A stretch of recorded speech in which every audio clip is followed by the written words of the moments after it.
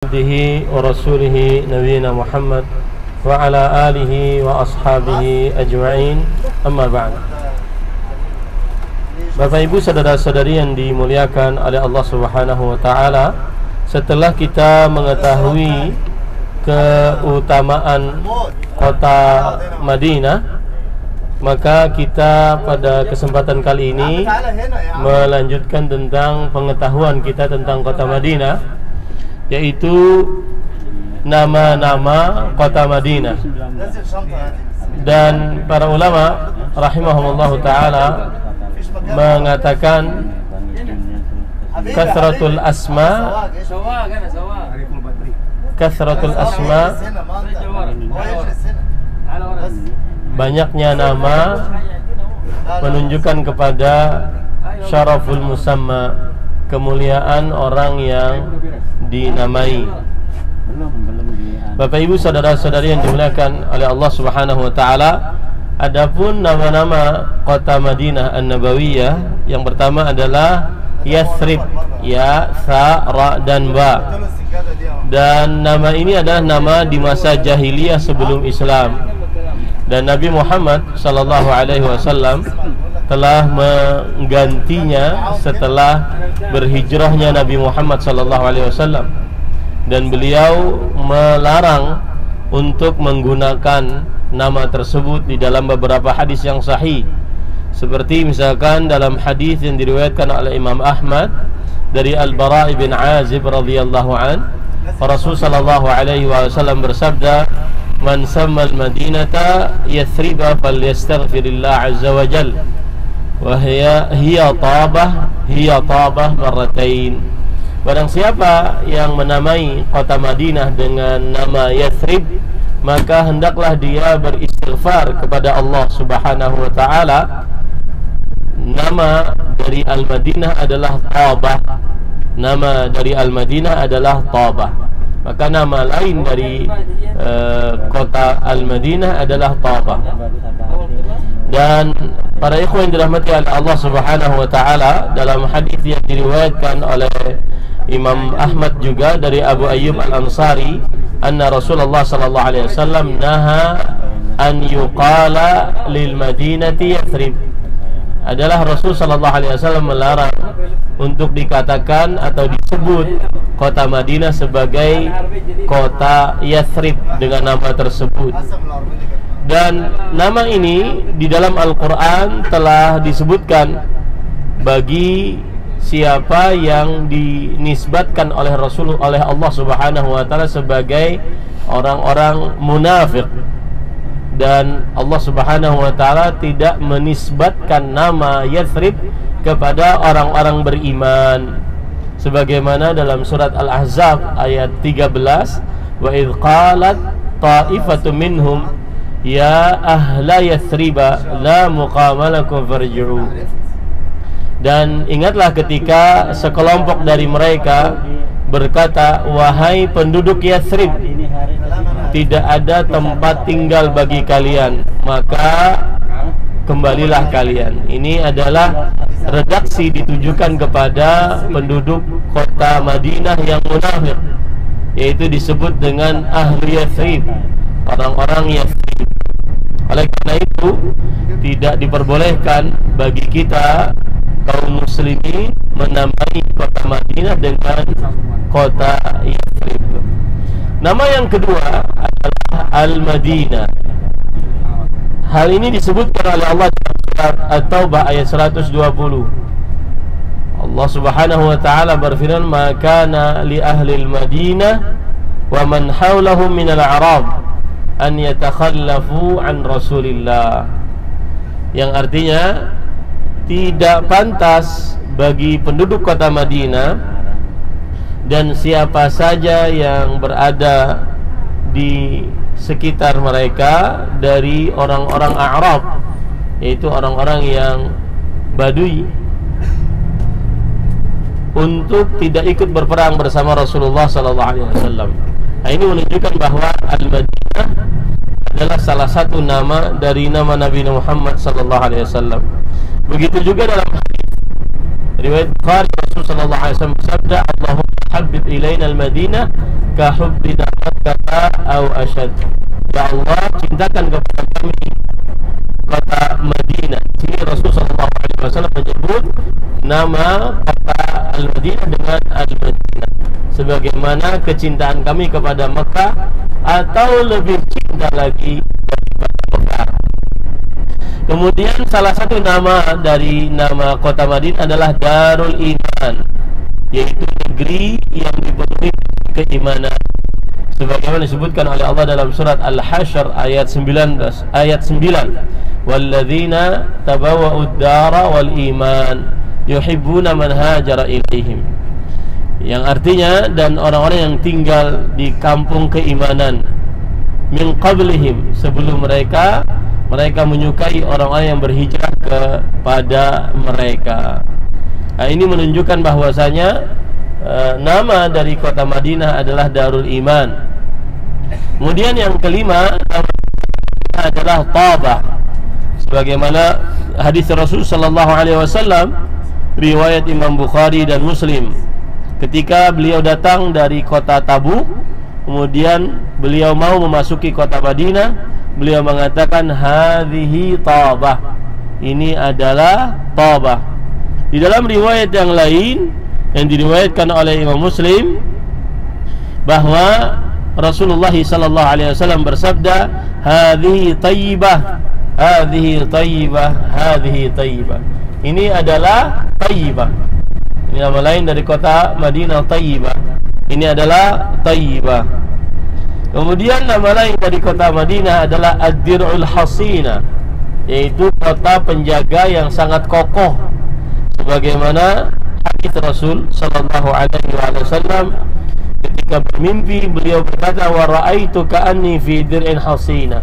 Aku bermimpi seakan-akan aku di dalam sebuah kota yang sangat kokoh Jadi nama-nama uh, kota Madinah sangat banyak. Sebagaimana sudah kita ketahui tadi bahwa uh, kasratul asma tadullu ala syarafil musamma. Banyaknya nama menunjukkan kepada mulianya yang dinamai. Seperti Allah Subhanahu wa taala. Allah Subhanahu wa taala memiliki banyak nama. Maka Allah Subhanahu wa taala mulia kemudian nabi kita Muhammad sallallahu alaihi wasallam Beliau juga memiliki banyak nama. Maka Nabi kita Muhammad SAW adalah mulia. Kemudian Bapak Ibu saudara-saudari yang dimuliakan oleh Allah Subhanahu wa taala, pada hari kemarin sudah saya jelaskan bahwa uh, luasnya kota Madinah itu sekitar 173.000 meter persegi. Akan tetapi itu tidak termasuk dari tanah suci kota Madinah. Adapun tanah suci kota Madinah sudah ditentukan oleh Rasul sallallahu alaihi wasallam sebagaimana sudah saya jelaskan pada hari kemarin dari timur ke barat itu di antara dua kampungnya yaitu kampung barat dan kampung timur. Kemudian dari dari utara ke selatan di antara dua gunungnya yaitu Gunung Air dan Gunung Thaur. Gunung Air dan Gunung Thawr nah, Ini bapak ibu saudara-saudari yang digunakan oleh Allah Subhanahu wa ta'ala. Kemudian uh, Sekarang kita akan memasuki uh, Tentang kurma. Ya, Ini kita disuruh untuk masuk ke kebun kurma. Dan Sekarang ini kita bulan Desember. Biasanya uh, panen kurma itu uh, bulan Juli, Agustus, ya, September. Nah, Desember ini biasanya sudah hasilnya yang kita rasakan, ya. Jadi tidak ada lagi yang ada di pohonnya. Nah, sedikit tentang kurma, kita berhenti dulu tentang kota Madinah. Sedikit tentang kurma, Bapak, Ibu, saudara-saudari yang dimuliakan oleh Allah Subhanahu wa taala uh, Allah Subhanahu wa taala menyebutkan di dalam Al-Qur'an tentang kurma. Ya. Allah Subhanahu wa taala menyebutkan di dalam Al-Qur'an tentang kurma. Dan kurma sebagaimana disebutkan oleh Allah Subhanahu wa taala wa minan nakhli min tal'iha qinwanun daniyah wa jannatin min a'nab wa zaitun wa rumman mushtabiha dari pohon kurma dari pucuknya kinwanun daniyah Nah ini disebutkan oleh Allah Subhanahu wa taala.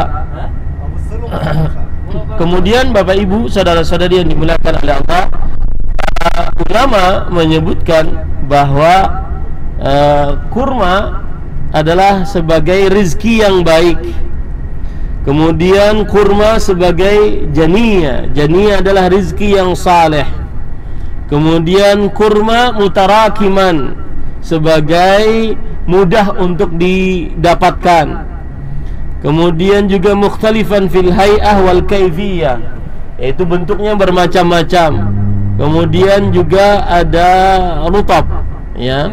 Nah, ada hadis hadis yang berkaitan dengan kurma di antaranya atau uh, sebelum hadis yang berkaitan dengan kurma ada uh, Maryam alaihissalam ketika beliau melahirkan uh, Isa alaihi salam maka Allah Subhanahu wa taala berfirman dalam surat Maryam ayat 25 wa huzzi ilaiki bi dhid'in nakhla. Tusaqit alaiki rutaban janiyya dan goyangkanlah pangkal pohon kurma itu ke arahmu. Niscaya pohon itu akan menggugurkan buah kurma yang masak kepadamu. Uh, Bapak Ibu saudara-saudari yang dimuliakan oleh Allah Subhanahu wa taala di sini ada pelajaran yang sangat menarik bahwasanya uh, para ulama salafus saleh mengatakan mamin syai'in khairun lin nufasa minat tamri rutab. Tidak ada yang paling terbaik untuk dikonsumsi bagi wanita yang sedang nifas yaitu dalam keadaan menyusui selain kurma dan rutab. Kemudian beliau membaca surat Maryam ayat 25 dan 26 ini.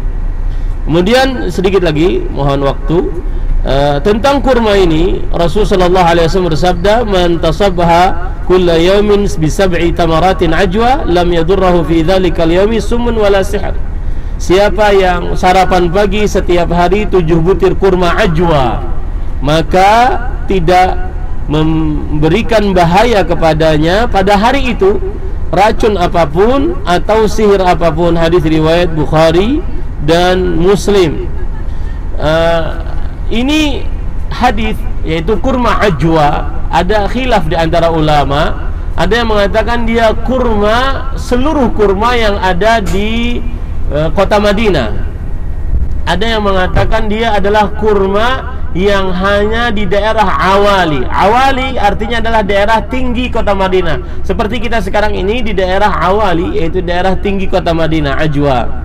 Ada yang mengatakan seluruh kurma di kota Madinah. Jadi tidak terfokus kepada kurma yang berwarna hitam itu saja. Jadi khilaf di antara ulama. Kemudian eh, Bapak Ibu saudara-saudari karena di dalam hadis yang lain disebutkan wa fi lafzin min tamril aliyah yaitu dari kurma daerah aliyah yaitu di daerah tinggi kota Madinah. Kemudian di sini ada hadis yang lain riwayat Imam Muslim Rasul sallallahu alaihi wasallam bersabda kepada Aisyah, "Baitun la tamra fi ji'un ahlu." Rumah yang tidak ada kurma di dalamnya, maka penduduknya adalah orang-orang miskin. Jadi e, kalau seandainya orang kaya tidak punya kurma berarti dia miskin. Ya. Kemudian Bapak Ibu saudara-saudari yang dimuliakan oleh Allah, di sana banyak sekali keutamaan-keutamaan dari kurma. Maka dipersilahkan kepada Bapak Ibu insyaallah nanti setelah kita berkunjung ke kebun kurma ini eh, saya akan lebih menjelaskan lagi tanpa tergesa-gesa. Dipersilakan ini ada waktunya sekitar jam 10.15 atau jam 10.30 lah ya. Karena kalau semakin lama nanti kita belum ke Uhud ya, kemudian kita ingin mengejar salat zuhur di Masjid Nabawi. Nah, silahkan Bapak Ibu, mohon Ustadz di uh, pandu untuk pergi ke kebun kurma. Nah,